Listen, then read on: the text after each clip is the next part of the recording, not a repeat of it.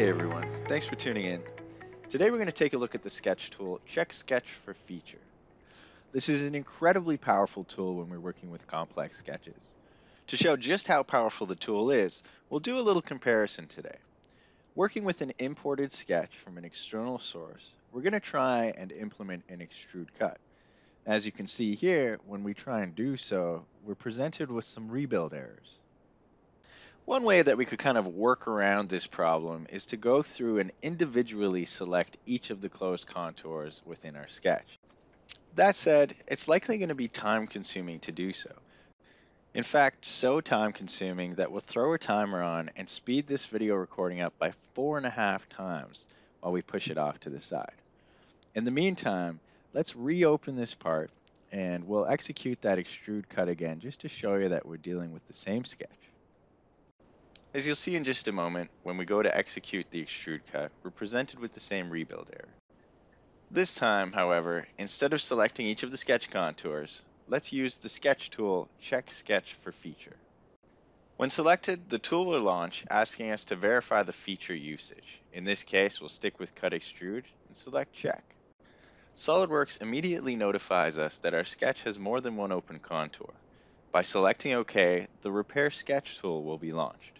As you'll see here, Repair Sketch is great at identifying problems with our sketch. Zooming in on this magnified point, we see a tiny floating entity. At this stage, we could manually select that floating entity to remove it, but I found a quicker way.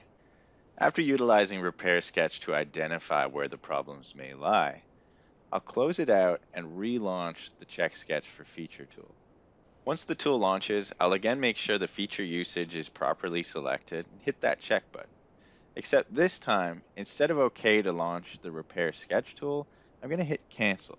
By doing so, the Check Sketch for Feature tool remains open, and a sketch entity in a problematic area identified by Repair Sketch has automatically been selected. To remove it, simply press the Delete key.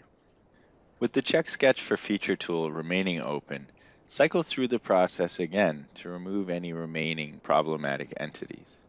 During this process, it is important to note that you'll want to be aware of what you're deleting. So if you didn't do a great inspection with the repair tool, take the opportunity now to inspect the selected entity before deletion. Once all problematic sketch entities have been removed, the Check Sketch for Feature tool will return with no problems found. We can now expect that when we try to implement our desired feature, we won't have any problems. And as we can see by the successful preview here, I'm more than confident that the extrude cut is going to successfully work. And of course, it does. So as a quick recap, the Check Sketch for Feature tool allowed us to quickly repair our sketch and successfully implement the extrude cut with a rebuild time of only half a second. Switching back now to the workaround method, load times in between the contour selections have this process coming in at just over 10 minutes to complete.